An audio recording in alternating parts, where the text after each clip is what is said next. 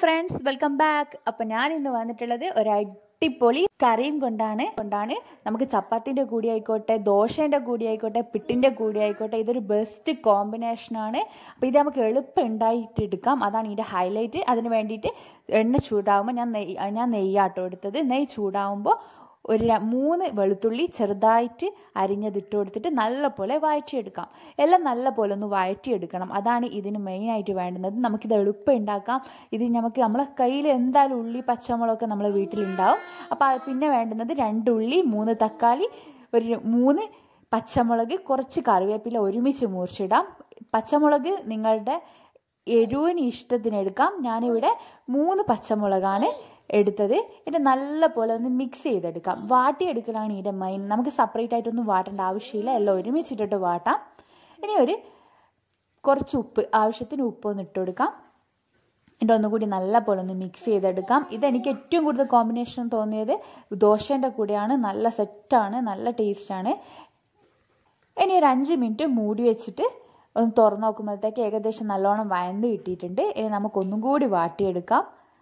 നല്ലോണം വാട്ടിയെടുക്കാം. നല്ല മണാട്ടോ ഇപ്പോൾ നല്ല വെളുത്തുള്ളിയും പിന്നെ തക്കാളിയൊക്കെ നല്ലോണം സെറ്റായി വന്നിട്ടുണ്ട്. മൂടി വെച്ചാൽ തന്നെ തക്കാളി വേഗം വെന്ത് കിട്ടും. നല്ല ഉടഞ്ഞ് കിട്ടും. പിന്നെ ഈ ഒരു പച്ചക്കുത്തൊന്നും ഉണ്ടാവില്ല. നല്ല പോലെ ഒന്ന് വഴറ്റിയെടുക്കാം. ഞാൻ ഒന്നുകൂടി മൂടി വെക്കുന്നുണ്ട്. ഒരു മൂന്ന് സെക്കൻഡ് കൂടി വെച്ചതിന് ശേഷം ഇതാ നല്ലോണം സെറ്റായി വന്നിട്ടുണ്ട്. ഇനി നമുക്ക് പൊടിയൊക്കെ ഇട്ട് കൊടുക്കാം. ഒരു അര സ്പൂണ് മഞ്ഞൾപ്പൊടി ഇട്ട് കൊടുത്തിട്ടുണ്ട്.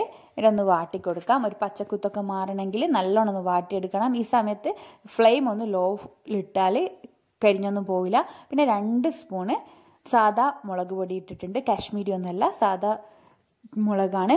ചുവന്ന മുളക് പൊടിച്ചതാണ്. എന്നിട്ട് നല്ലപോലെ ഒന്ന് വഴറ്റിയെടുക്കാം. ഇതൊരു രണ്ട് സെക്കൻഡ് ഒന്ന് വഴറ്റിയെടുക്കാം. ഈ ഒരു മൂത്ത് വരുന്ന സമയത്ത് നല്ല മണാട്ടോ. അപ്പം തന്നെ നമുക്ക് കഴിക്കാൻ തോന്നും. അത്രയ്ക്ക് ടേസ്റ്റാണ് അപ്പം മസാലയൊക്കെ നല്ല സെറ്റായി വന്നിട്ടുണ്ട്.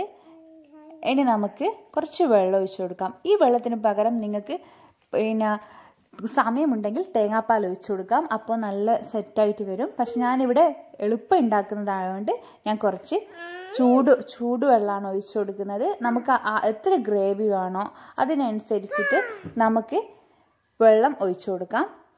ഇനി ആവശ്യത്തിന് ഉപ്പ് ലാസ്റ്റായിട്ട് കുറച്ച് ഉപ്പ് ഇട്ട് കൊടുക്കുന്നുണ്ട്. പിന്നെ കൂടെ ഞാൻ ഒരു നുള്ളു പഞ്ചസാരയും കൂടി ചേർക്കുന്നുണ്ട്. ഒരു നുള്ളു പഞ്ചസാര. അപ്പോൾ ഈ കറീന്റെ ടേസ്റ്റ് എടുത്ത് നിൽക്കും.